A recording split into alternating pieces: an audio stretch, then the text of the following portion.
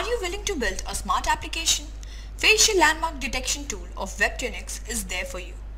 We basically prepare data using which you can build your own application.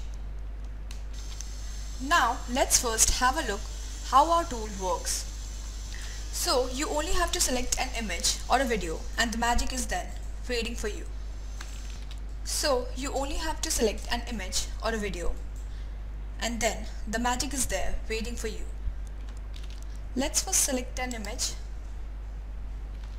So you can see that our tool has detected all the three faces in this image. Now let's move towards the video file. Let's select one video. So our pre-trained facial landmark detector is used to estimate the location of 68 coordinates that map to facial structures on the face. Each data point in the dataset contains space-separated pixel values of the images in a sequential order. Using human-in-loop solution, we manually label the facial structures predicting the facial key points. Once we detect the facial key points, we use them to do all sort of cool things. For example, you can use the nose key point to add a mustache, lips key point to add a color to them. Also, you can use our product that is facial landmark detection tool in several ways.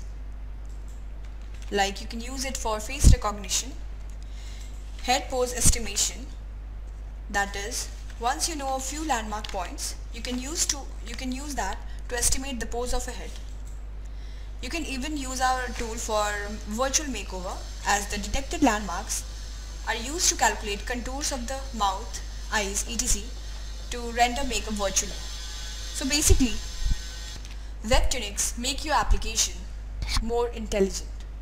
So basically, Webtunix makes your application more intelligent.